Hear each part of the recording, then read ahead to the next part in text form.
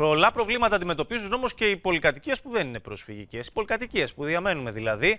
Από τα σοβαρότερα προβλήματα είναι ο εγκλωβισμός κάποιων ιδιοκτητών από άλλους ιδιοκτήτες που δεν πληρώνουν τα κοινόχρηστα και δεν πληρώνουν τις εργασίες συντήρησης πολύ σημαντικές που πρέπει να γίνουν. Και η νομοθεσία έχει τεράστια κενά. Ο Χρήστος Κίζης είναι μαζί μας, πρόεδρος του Συνδέσμου Διαχειριστών ε, Κοινόκτητων Οικοδομών Κύπρου. Να τον καλωσορίσουμε. Γεια σας. Γεια σας. Γεια σας.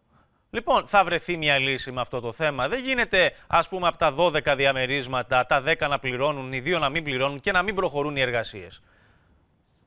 Α πούμε. Και να μην μπορεί κανείς να τους αναγκάσει να βάλουν το χέρι στην τσέπη. Ε, Καταρχάς, να χαιρετήσουμε και τον κόσμο. Χαίρομαι για την πρόσκληση.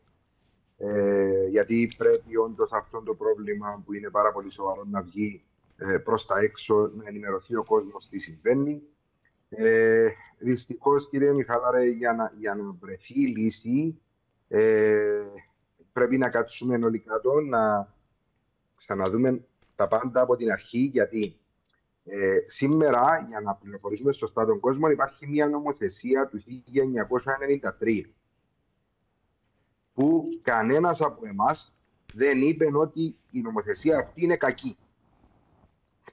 Το πρόβλημα του κόσμου, αλλά ευρύτερα και το δικό μας, είναι ποιος ασχολείται με αυτήν την νομοθεσία. Ποιος την εφαρμόζει. Ναι. Και τι κάνει ο καθένας με τη σειρά του ε, για αυτή την νομοθεσία που υπάρχει. Υπάρχει μια προθυμία από πλευράς του κτηματολογίου από το 1993 μέχρι και σήμερα. Ε, και δημιουργούνται όλα αυτά τα προβλήματα. Απροθυμία ως προς τι, δεν έρχεται να συνεργαστεί. Το κτηματολόγιο δεν θέλει. Τι συμβαίνει με το κτηματολόγιο; Δεν θέλει, το δήλωσε πάρα πολλέ φορέ. Γιατί όμως, ποιο είναι το επιχείρημα ε, για αυτό το πράγμα; Ε, ίσως δεν έχω χρόνο να ασχοληθούν με αυτό. Δεν σας άκουσα. Αυτό, αυτό μας λένε, ότι δεν έχουν χρόνο από ό,τι φαίνεται να ασχοληθούν με αυτό.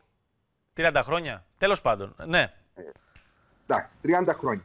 Ε, Όπως και να έχει ε, το, το πρόβλημα είναι ότι υπάρχει μια νέα πρόταση νόμου του 2023 όπου καλεστήκαμε στη Βουλή στην πρώτη συζήτηση ε, τέλος Νοεμβρίου του 2023 και θα ξεκινούσε η συζήτηση και η κατάστρον συζήτηση του νομοσχεδίου αρχές Ιανουαρίου. Ναι.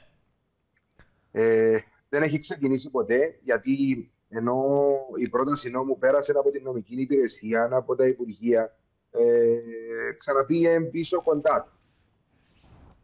Κάτι, ε, κάτι είδαν στην νομοθεσία όπου θα έπρεπε να ξαναπάει στην νομική υπηρεσία. Μάλιστα.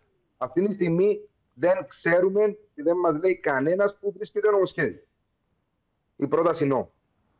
Ε, Άρα είστε στο σκοτάδι κι εσείς που η δουλειά σας είναι να διαχειρίζεστε τα οικονομικά και τις εργασίες των πολυκατοικιών, έτσι δεν είναι; Ναι.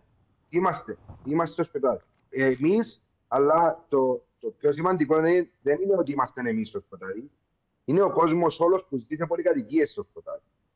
Και η παραπληροφόρηση που παίρνει ο κόσμος καθημερινά ότι μια νέα πρόταση νόμου έχει περάσει. Ε, πρέπει να το συνειδητοποιήσει ο κόσμος ότι ούτε πέρασε, αλλά ούτε θα περάσει ε, σύντομα. Όμως, τι γίνεται, ωραία, δεν θα περάσει η νομοθεσία, ε, παραμένει η υπηρεσία των κοινόκτιων υποδομών στο κτηματολόγιο, αλλά μετά τι γίνεται. Παραμένουμε όπως ε, ήμασταν από το 1993. Μάλιστα, μάλιστα. Ε, κύριε Κίζη, ολοκληρώνοντας, αν κάποιος δεν πληρώνει από την πολυκατοικία, μπορώ να τον αναγκάσω να πληρώσει; Με τα σημερινά δεδομένα; Ναι. Εκτός του δικαστηρίου, όχι. Αν τον πάω δικαστήριο όμως, μπορώ να βρω το δίκαιο μου. Ε, θα, βρεις, θα βρούμε το δίκαιο μας, αλλά θα το βρούμε ε, μετά από αρκετόν καιρό, να μην πω χρόνια, να πω αρκετόν καιρό. Όμως τα έξοδα κάθε μήνα τρέχουν. Επίσης πρέπει να σημειώσουμε, κύριε Μιχαλάρε. Και είναι και ζήτημα ε, ε συντήρησης των πολυκατοικιών. Έτσι. Υπάρχουν συγκεκριμένα έργα που πρέπει να γίνουν και κολλάνε ακριβώς εκεί.